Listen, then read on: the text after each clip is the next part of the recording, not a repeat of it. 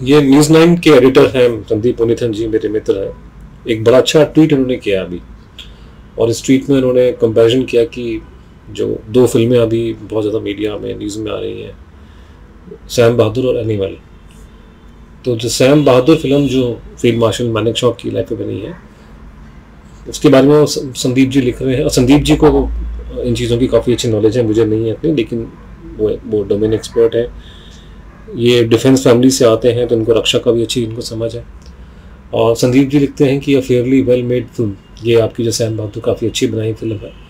और भारत के सबसे मशहूर सोल्जर्स में से एक मैंने शौक के ऊपर है। और इसने अभी तक बॉक्स ऑफ़िस में पचास करोड़ का बिज़नेस किया और दूसरी तरफ़ एनिमल जो है, वो एक फिक्शनल फ़िल्म है, जो गॉड फादर एक बड़ी मशहूर अमेरिकन फ़िल्म थी उस पर इंस्पायर होने से इंस्पायर की गई है। और उसमें वही जो यूजली जो गंद होता है गैंगस्टर फ़िल्मों में उसमें का दिखाया गया, वो जो है 500 करोड़ तक कमा चुकी है। और ये लाने के बाद संदीप एक सवाल पूछते हैं कि which route will Bollywood take now what are ये बॉलीवुड क्या बॉलीवुड का तो रूट तो बहुत पहले ले चुका है। नहीं तो ये फ़िल्म तो आज से चालीस साल पहले बननी चाहिए थी सैम बहादुर के ऊपर। ये इतना लेट क्यों हुआ? लेट इसका लेट होने का कारण ये है कि पब्लिक का पब्लिक ने तो बहुत साल पहले से बोल दिया कि उनको गैंगस्टर पसंद है उनको। डॉन की फ़िल्में चलती सेवेंटीज में अमिताभ बच्चन की या गैंगस्टर्स की फ़िल्में।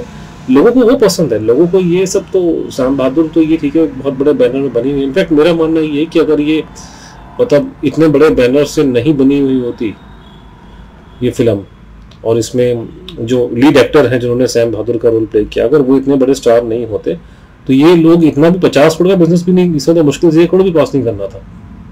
ये तो लोग वो फ़िल्म एक्टर को देखने के लिए गए होंगे, वो कोई सैम बहादुर को देखने के लिए जाते हैं ना पचास करोड़ का बिज़नेस भारत में लोगों में इंटरेस्ट नहीं है इन चीज़ों में। ये तो और गैंगस्टर्स की फ़िल्में हंड्रेड परसेंट और मैं यही बात लोगों को जब मुझसे लोग पूछते हैं, हम अपने अलग अलग जगह पर जाते हैं चंद्रचूर और मैं। तो लोग हमसे पूछते हैं कि कौन सी किताबें लिखी। जब मैं उनको हाथ जोड़ के बोलता हूँ कि भैया, ये किताबें अगर लिखनी है, अगर पैसा कमाने का इच्छुक हो तो आप ये गैंगस्टर्स वगैरह पे लिखो। उसकी डिमांड ज़्यादा है। पब्लिक उसको देखती है। ये सब फौजियों वौजियों की, फ्रीडम फाइटर की फ़िल्में फ़िल्में ये सब नहीं चलती।